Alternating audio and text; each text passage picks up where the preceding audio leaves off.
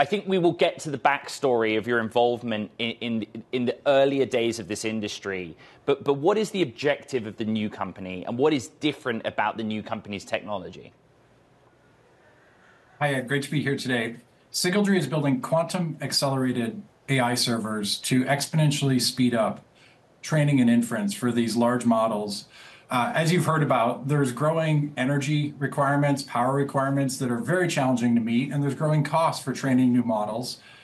And ultimately, quantum can provide a solution to that uh, with these exponential speedups. In the last few years, there's been new algorithms developed that can exponentially speed up things like stochastic gradient descent or low rank adaptation that are critical for training and inference in large models and really bringing about the accessibility Uh, affordability and sustainability of, of true widespread adoption of AI. We were recently at NVIDIA GTC's Quantum Day. We did a special show where many sort of the leaders in, in, this field joined us. And kind of what struck me is they all sat there on stage with, with NVIDIA CEO Jensen Huang is how many companies are working on this, how many publicly traded companies. And I give you that preamble to ask, why do we need a new company focused on this task? Why can the technology been developed by all these others, including the, the namesake company you founded, not crack it themselves? It's a great question, and I've thought about that as well. And ultimately, that led me to starting Sygaldry with my co-founder Idalia Friedson, who also worked with me at Rigetti and helped take the company public in 2022.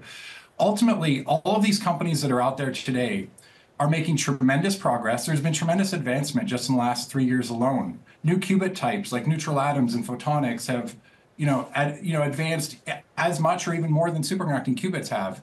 And ultimately, what we see is an opportunity to combine these different modalities within a single fault tolerant architecture. And we thought about, eh, you know, and then on the flip side of that, to take a laser focus on accelerating these compute challenges in AI. Ultimately, over the past two or three years, AI has become so useful and so widely used that it's redefined, it's basically created a new abstraction layer for computing hardware. And with that, computer hardware itself needs to evolve and change. If you look at the quantum computing companies that are out there right now, even the public ones and the one that I built in Rigetti Computing, uh, all of those roadmaps, their plans for five, ten years out were locked in before AI became the dominant compute paradigm.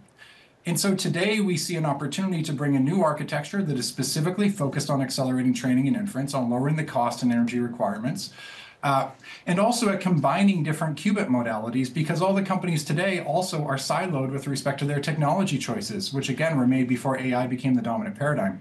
So right. we're bringing multiple different qubit types together within a single fault tolerant architecture explicitly built for AI. Chad, do you need more money to do this? Because at the moment you're backed by Y Combinator. I'm sure you've got some money made on your previous company, but how much do you need outside investment? Well, of course, this is deep technology in the end, and the size of this market, if you can crack this, when quantum really comes online and starts to impact AI training and inference costs, it's going to be a trillion dollar market.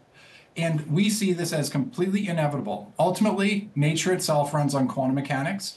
In the most information rich environments at the lowest level of nature, we use quantum mechanics to process that information. And quantum reflects that, mirrors that reality, and ultimately is a more efficient way of computing long term. So we're going to use this in conjunction with GPUs, in conjunction with large scale classical infrastructure.